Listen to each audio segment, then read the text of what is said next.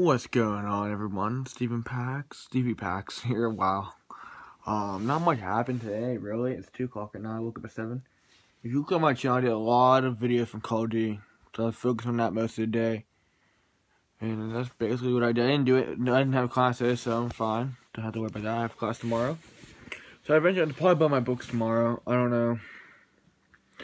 I gotta figure that out. Or I'm gonna wait till this next week to do it. Know, my first class tomorrow, so I didn't have a Monday because Monday got canceled because of snow. I'm gonna have tomorrow at 8.30.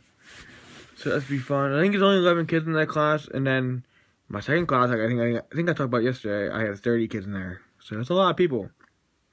But it's gonna send out throughout the year that people are gonna leave and stuff. I guess it's always normal. So not much today. Hope you guys enjoy some nice snowy day out there today.